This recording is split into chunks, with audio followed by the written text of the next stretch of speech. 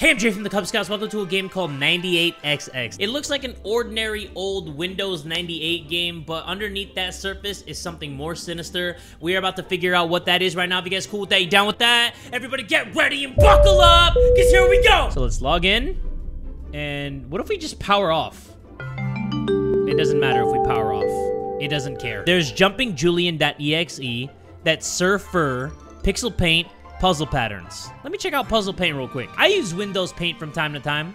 Like when I need to copy and paste something real quick, I still use Windows Paint. Does anybody else use Windows Paint or are we all Photoshop whores? Because when I make thumbnails, I do use Photoshop. Back when I started doing YouTube, I sound old already. Back in my day when I started doing YouTube, I actually didn't have Photoshop. I was about to create my thumbnails in Paint, but you have no videos installed.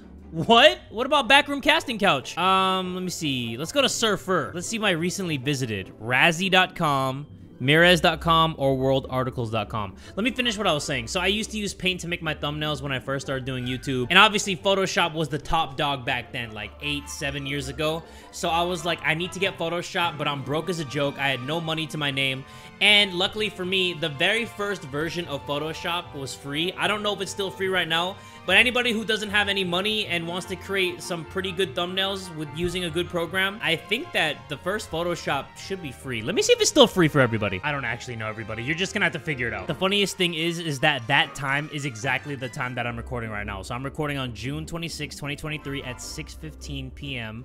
And the last thing that I can do is jumping Julian. Okay, let's play There. My name is Julian, and I am very happy you are playing with me. Yo. I love when people play with me. Bro, chill. Use the arrow keys and spacebar to help me make my way up to the top. Have fun. Okay. So we just use this Baldi's Basics looking dude. And that's all we gotta do. We just gotta make our way to the top. Okay, so you are all gonna see that I'm a pretty average Now on to the platforming guy.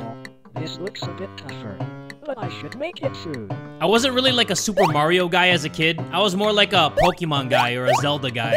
So I'm not really good at shit like this. But red flag, Yeah, I did it. Now on to the next level.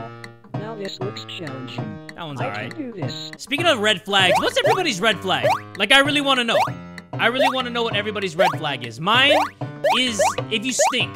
Like, and I don't mean like just stinking as body odor. I mean like if you don't um take a shower. System error, of fatal exception. A fatal exception has occurred at 486520. This was called from 576542234. It may be possible to continue normally. Press any attempt to continue. But yeah, my red flag is good hygiene, I guess, or lack of good hygiene. That's what I meant. I don't mean just like stinking. I mean like stanking. Like if you're like really stinky and nasty, I can't stand that. That's an immediate red flag to me. And I don't know anybody who likes stinky people, but I don't know. This looks like broccoli. That doesn't even look like a normal tree. But let's go to jumping Julian again. Wait, we can't. Oh, there he is. It seems that a problem has occurred. But do not worry as I have fixed the game and made it even better. Where are you going? Are you gonna jump into I the do game? have something to ask. Sure. Do you ever wonder if there's an afterlife? Yes. It's something I really been thinking about. Well anyway, let's play the game. This dude's deep in thought. He's deep in his feels.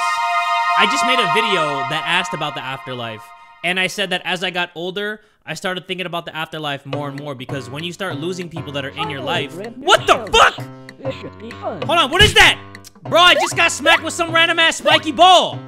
Dude said he made it better.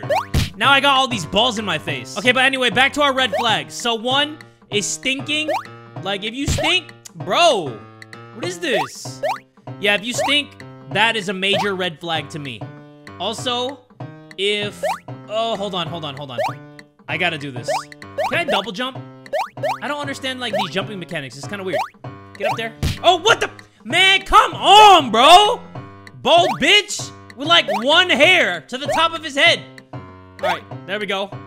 Got him. Yeah, I did it. I Now did it. the Give me some credit. Oh boy, here comes a real challenge. Let's Bro's the dude this. in the group project that does nothing but expects everything.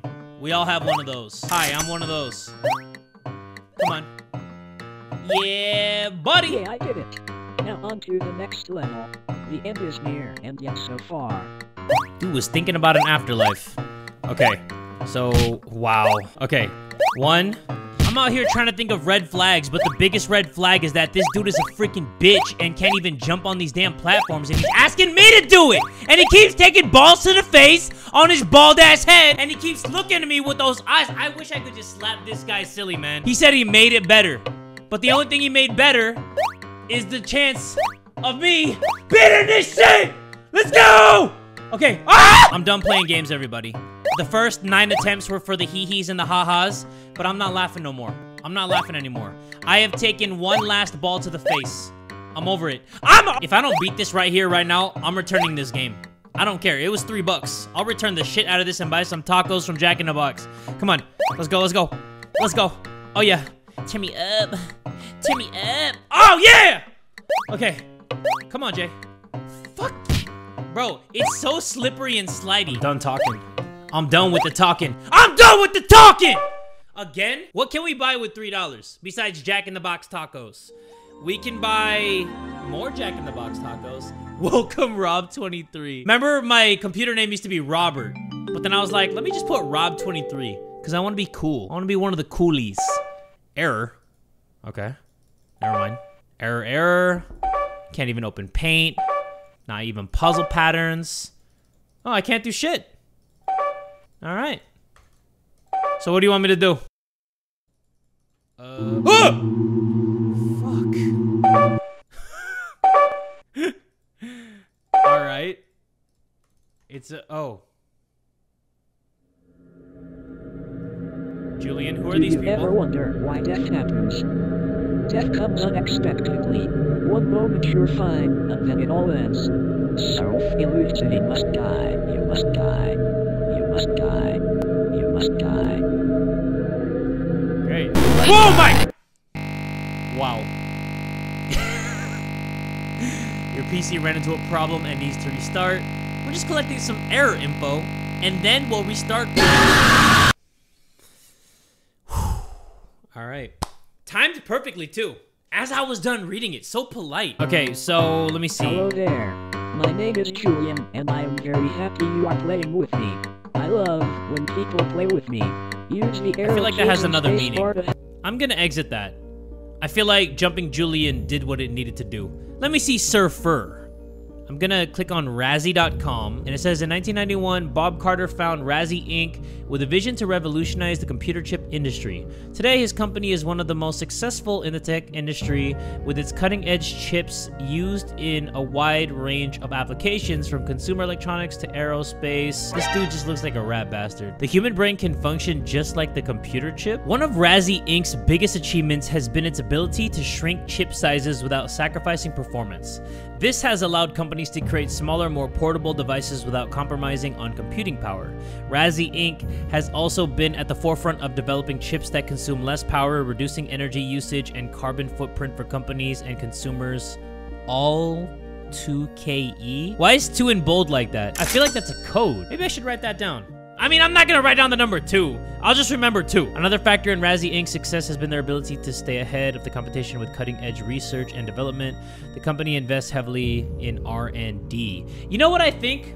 I think that these websites have a code. So let's see. One is also a thing. Let me see, where's 2? So when I click that, they make a noise. I clicked on one and two and then it made like a tick sound. Me go back to Surfer and let's see what we got over here. There's a four. It's not letting me click on the four. New game takes the world by storm. In recent months, a new game has taken the internet by storm, captivating the attention of kids and adults alike. This game sucks ass! What a shitty childhood these two kids had because Jumping Julian is something I wouldn't even wipe my ass with. Jumping Julian, created by Dreamore Studios and developed by John Monkford, is a platformer game that gained immense popularity in a short period of time. One of the game's biggest draws is its addictive gameplay. On what planet? Jumping Julian is easy to pick up but difficult to master, making players want to keep trying until they beat a level. However, as with any popular game, parents are skeptical about the impact it may have on their children. Many worry that their kids are becoming addicted to the game and spending too much time playing it. Overall, Jumping Julian is a fun and exciting game that has taken the internet by storm. While parents may be skeptical of its impact on their children, it's important to recognize the potential benefits of gaming and to set appropriate boundaries. With its addictive gameplay and positive messaging, Jumping Julian is sure to remain a fan favorite for years to come. Who wrote that? Julian himself? Like, are you freaking kidding me? I have no videos installed. Wow. Okay. Match all of the shape patterns. Ooh, I actually like stuff like this.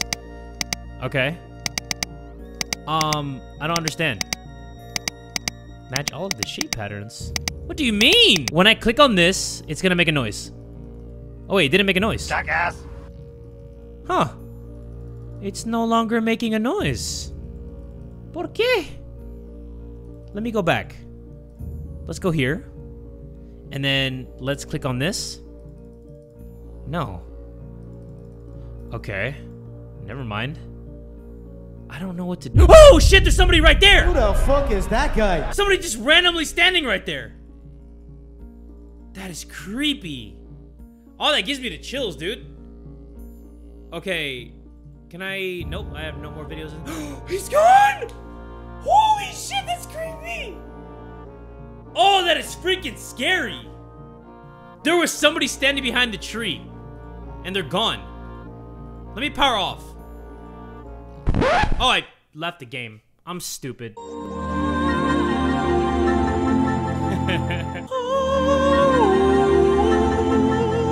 I know that there's something with these things. There you go. One, two.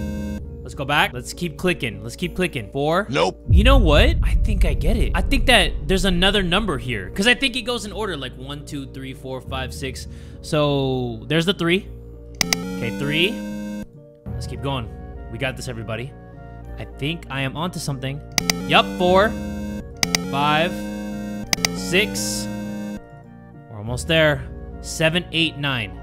Seven, eight, nine. Got it. The mysterious disappearance of Jason Storm from Razzie Inc., October 22nd, 1998. In early October of 1998, Jason Storm, an employee of Razzie Inc., disappeared under mysterious circumstances. Storm, a promising young engineer, was last seen headed to the company's warehouse.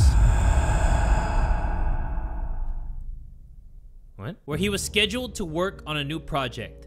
When he failed to return, his colleagues raised the alarm and a search was launched. However, despite an intensive investigation, no trace of Storm has ever been found. The disappearance of Jason Storm remains a mystery to this day and has left his family, friends, and colleagues with many unanswered questions. Rumors and speculations have swirled around the incident, with some suggesting foul play and others pointing to a potential accident or technical malfunction. Despite the lack of concrete evidence, some have even speculated that Razzie Inc. may have played a role. Is his face moving? I feel like his face kind of moved from side to side. It may have played a role in Storm's disappearance. However, the company has strongly denied any involvement and has cooperated fully with the authorities in their investigation. The case has remained open, with authorities continuing to search for any clues that may help shed light on what happened to Jason Storm. Meanwhile, his loved ones continue to hold out hope that he may one day be found alive and well. The disappearance of Jason Storm has had a profound impact on those who knew him and has served as a reminder of the dangers that can lurk in even the most seemingly secure and mundane of workplaces. It has also raised important questions that workplace safety and the responsibilities of employers to ensure the well being of their employees. Pussy! God, man, I was into it. The Rise and Fall of Jumping Julian, a cautionary tale of game development. In the world of video games, success can be fleeting. One day you're the talk of the town, the next you're yesterday's news. This was the case of Jumping Julian, the once popular game created by John Monkford that quickly fell out of favor due to harsh feedback. Jumping Julian was initially greeted with excitement and anticipation. The game promised a unique platforming experience with vibrant visuals and engaging gameplay. However, as players began to spend more time with the game, they started to notice some serious design flaws. One of the biggest complaints was the game's annoying gameplay facts, which featured frustrating controls and repetitive level design. Thank you to whoever wrote that. Players found themselves getting stuck on obstacles and dying frequently, leading to a sense of frustration and boredom. The poor design choices were not lost on players, and reviews for the game were overwhelmingly negative. One person in particular, Jason Storm, left an extremely harsh review that left John Mungford heartbroken and depressed. The negative feedback proved to be too much for Mungford, who struggled to cope with the criticism. After a few months, he decided to leave the game development business. In a shocking turn of events, several employees at Razzie Inc. have died while playing the game's Jumping Julian. The game, created by former employee John Monkford, has been linked to the deaths of multiple staff members, leaving the company reeling and the gaming community in shock. The first reported death occurred in late October of 1998 when a Razzie Inc. employee was found dead in his office surrounded by screens showing Jumping Julian. At a time, the incident was considered an isolated case and was attributed to personal issues rather than the game itself. However, over the next few weeks, several more employees took their own lives while playing the game. Concerned staff members raised the alarm, and the company sent out a memo advising employees to avoid playing the game altogether. As the death toll continued to rise, Razzie Inc. management began to investigate the matter more closely. They discovered that John Monkford, the game's creator, had included subliminal messages in the game that appeared to have triggered the behavior in some players. In response, the company contacted the police and launched a search for Mungford. However, shockwaves through the gaming industry, raising important questions about the responsibilities of game developers and the potential risks associated with immersive gameplay. It also highlighted the need for companies to take a closer look at the content of the games they produce and to ensure that they are not promoting harmful behavior or causing undue harm to players. The tragedy has also underscored the importance of mental health in the workplace and the need for companies to provide support and resources for employees who may be struggling with personal issues. In the wake of the deaths, Razzie Inc. has issued a public apology and has committed to taking a more proactive role in ensuring the safety and well being of its employees. The company has pledged to work with mental health experts to develop better policies and procedures for identifying and addressing mental health issues in the workplace. Downloading video? Success. Wait, I can check the video? Hold on. Oh, we have a video. What the fuck? Do you want me to take a picture of that? Okay, so I scanned the QR code and this popped up. Does anybody know what that means? I'm sorry to disappoint you all. I'm pretty sure this is Morse code, but I don't know dingle dick about Morse code, so this could be insulting my mom right now, but I have no clue what it's saying. Like, what are you trying to say, huh? Oh, yeah? And what? Okay. And my dad too? What about my sister? Wow. This bitch. This dude talking shit. Okay, I got something for you when I see you. So this is the one where I don't understand. Like, what am I supposed to do right here? Match all of the shape patterns. But like, how do I know what I'm matching? You know what I mean? Like, how do I even know what I'm doing? What am I doing just to suffer type shit? Let's do that diamond shit. Yeah, that diamond shit for the fireman. All right, everybody. That is to do it for 98XX. If there's any more secrets, I have no idea what else to do. If you played this before and want to give me a little advice in the comments, let me know. If you all enjoyed this and want me to play more games like this, make sure you give this video one big fat like. And tell a friend today that Jay from the Kubz Scouts is that dude.